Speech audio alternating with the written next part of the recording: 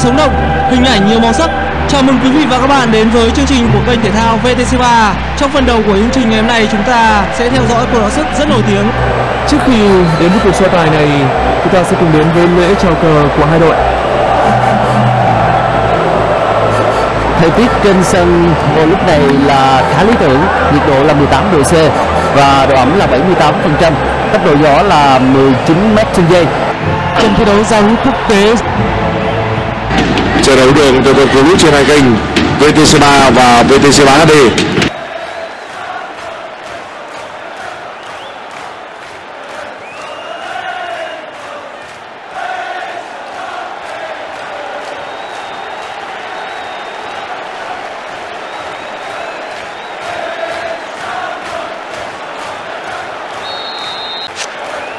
Trận đấu ngày hôm nay trọng tài Hồng Web được bổ nhiệm sẽ là người cầm còi. Và cùng với đó là hai trọng tài biên ông Mikadin và trọng tài nữ Sian marseille trọng tài bàn là ông Jack Collin Trước khi trận đấu mà chúng ta đang chứng kiến diễn ra thì ở trên sân đã có một biểu ngữ respect. Đó là sự tôn trọng. Một thông điệp rất ý nghĩa giữa cao thủ, những người đã rất hiểu nhau tuy nhiên các trận đấu chưa bao giờ là không máu lửa Alan.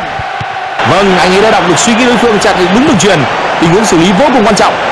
Và anh ta giành lại được bóng. Rafinha.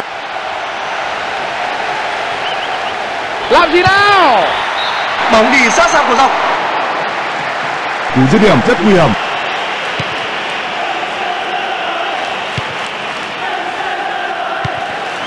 James Rodriguez. Simas Coman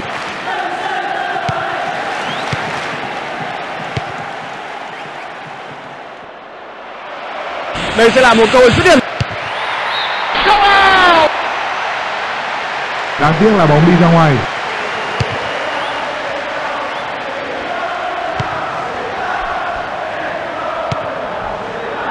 Alan. Xử lý rất tự tin. cú đá cận chân từ xa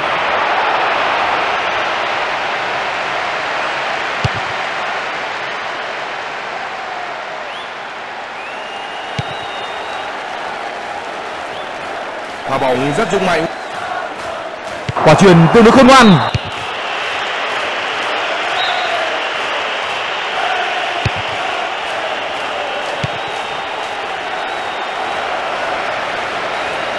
Và cản phá dứt khoát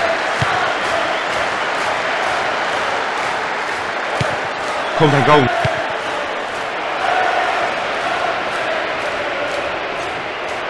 Một gol. Bóng ra ngoài, cơ hội phản góc. Đưa bóng vào.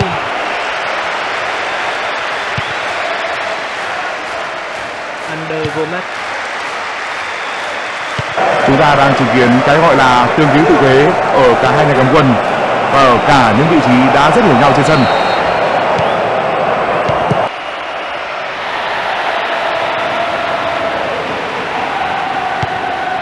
Rafinha. Quá vất vả để chống đỡ.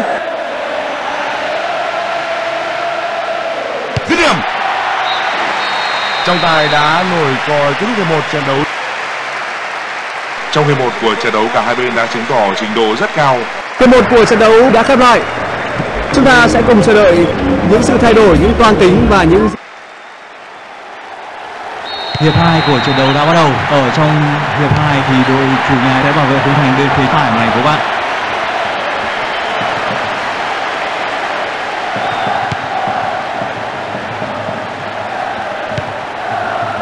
Rafinha. Một pha can thiệp đơn giản nhưng cực kỳ hiệu quả. vẫn còn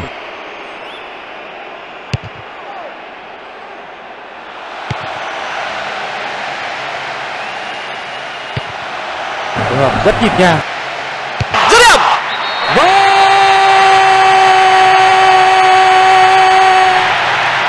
tỷ số là 1-0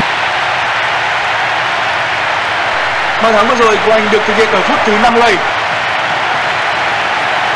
Pha dứt điểm rất gọn ghẽ và bình thản. đơn giản nhưng hiệu quả. Tỷ số của trận đấu đang là một không.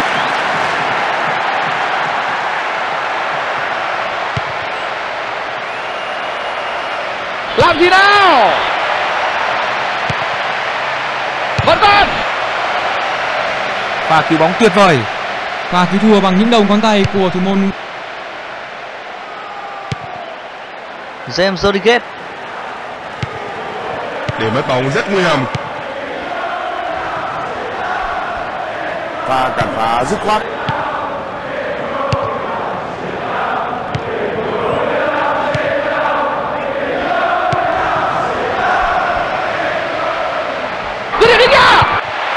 Một cản phá có thể nói là cũng đã cứu cho khỏi một bàn thua 10 người hai cầu thủ đã vào sân thay người đó là một đường chuyền.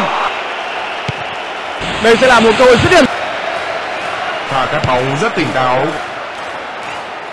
Không thể. Wow! Pha dứt điểm rất đẹp. Bàn thắng đã giúp cho hai đội trở lại vạch xuất phát. Quá tinh tế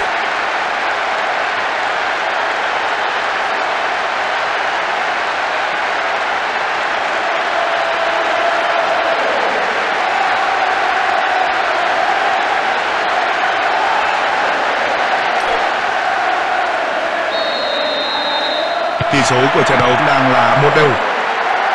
Trong tốc độ chơi nhanh và đẳng cấp cao của cả hai cái chất kỹ thuật ừ, là điều không cần phải nói nhiều. Nhưng rõ ràng đây là trận đấu cũng cần phải có độ rắn của những tình huống tranh chấp quyết liệt. Trong những cuộc đối đầu trước đây đã luôn có những va chạm ở tầm đỉnh cao và sau này đã luôn được coi như những huyền thoại. Xử lý rất tự tin. Huy up dứt điểm wow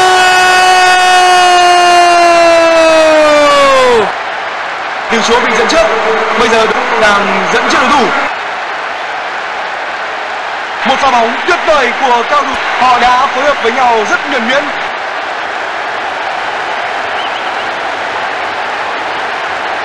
Không thể không ghi bàn ở một tình huống như thế này.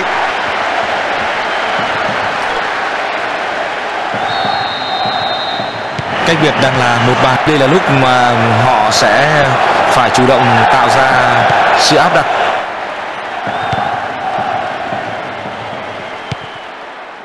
Rafinha. Và họ đang phối hợp với nhau rất đẹp.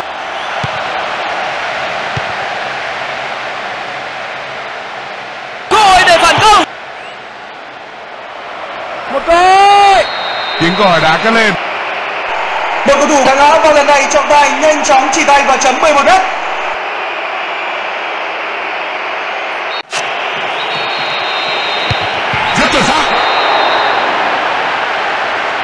và đó là một pha bóng không thể cản phá.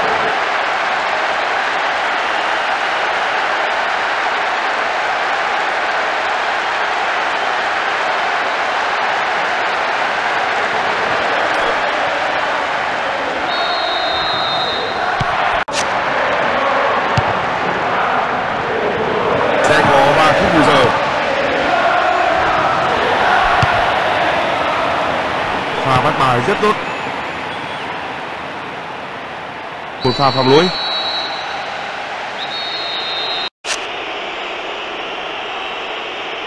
James Rodriguez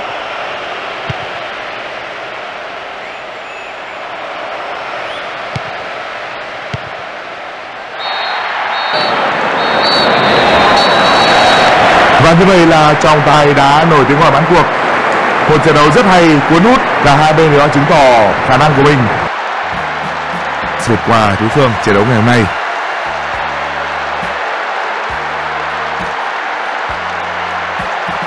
Một trận cầu vô cùng gay cấn, rất vui khi cùng đồng hành với các bạn. Xin cảm ơn các bạn đã theo dõi. Xin chào và hẹn gặp lại.